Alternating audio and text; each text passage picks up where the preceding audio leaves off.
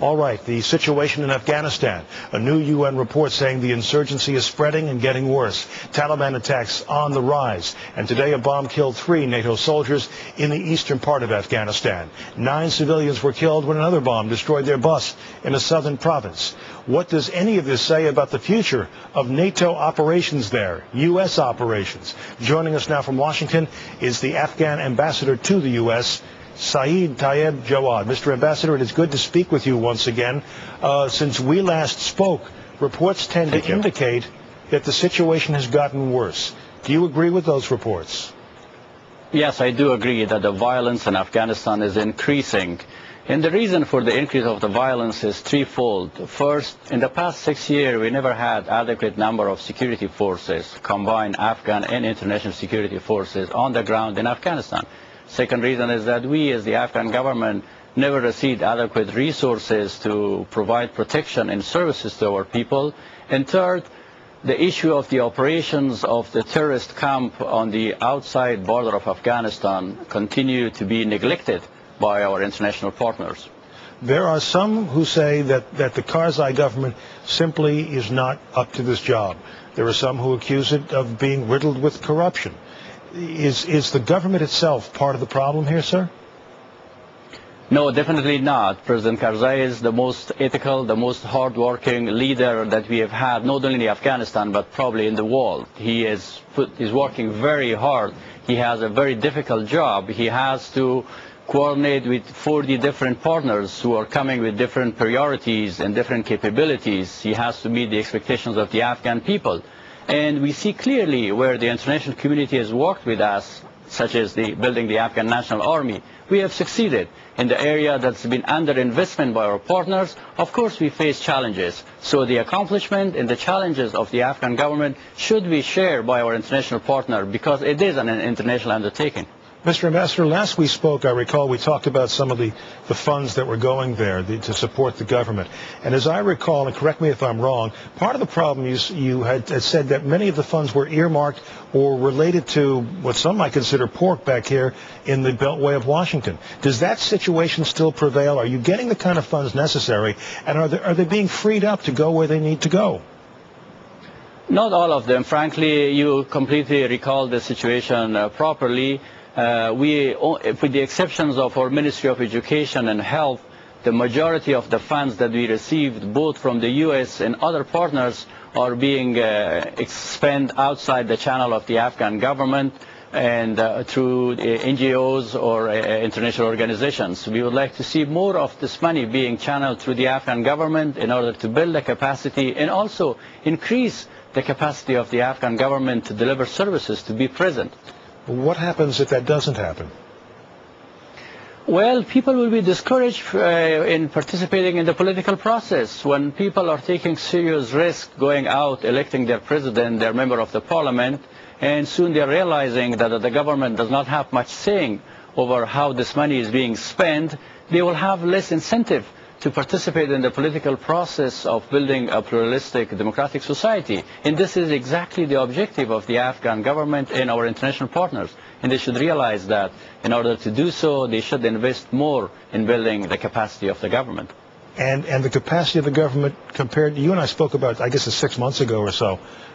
How has the capacity changed since then?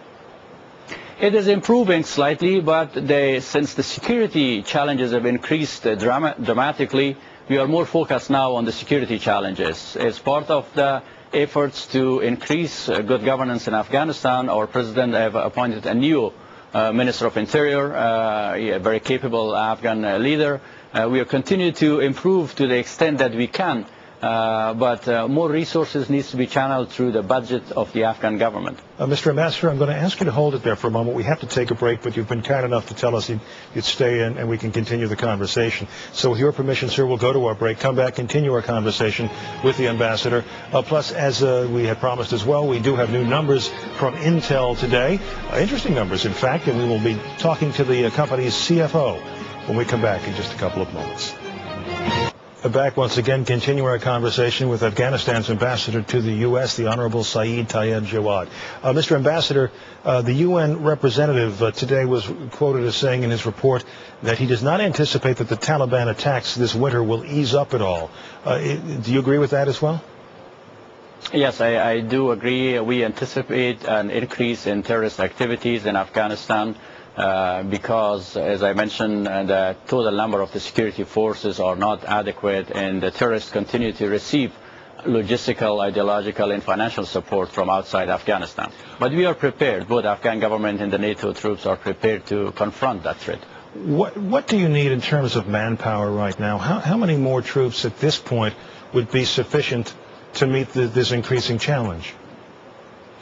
We need to double the number of the Afghan uh, army from 80,000 to uh, about 140. Uh, we are working on that. So far we have trained only 80,000, which is not adequate. And we will need an ad additional number of troops of about 15 to 20,000 in Afghanistan to confront uh, the immediate security challenges on the short term. On the long term, the solution is to build the capacity of the Afghan National Army and police force. It's more sustainable, it's less expensive, and the real solution for Afghanistan. We hear NATO, uh, we hear reports of NATO cracking down on what's considered to be the narcotics infrastructure, and the world obviously knows about the, the history of of, uh, of, the, the, drug trade uh, and how it has been used. Uh, by those who seek to overthrow your government as well.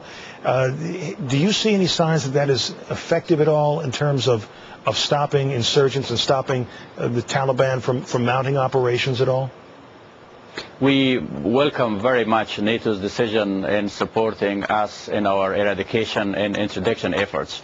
This is exactly what we've been asking for uh, to, to get more support in the areas of interdiction and also eradication by the international forces. We, we see a direct connection between narcotics, terrorism, lawlessness, and, and good governance.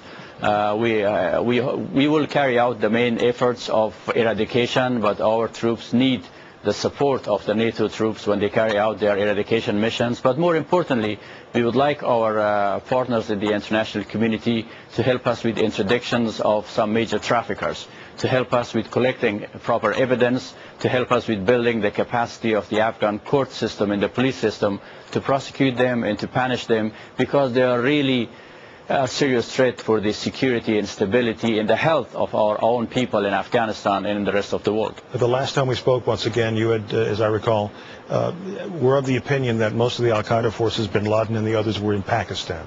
Uh, do you still think at this point that they're there? And what do you think of, of the Pakistan's government, the new government, and its, its efforts to cooperate or at least to try to hold Taliban forces from moving back and forth across the border? The establishment of the new civilian government in Pakistan is uh, very good news for Afghanistan and I think for the rest of the world. We all should try to support the new elected civilian government of Pakistan. They have a very difficult mission ahead of them.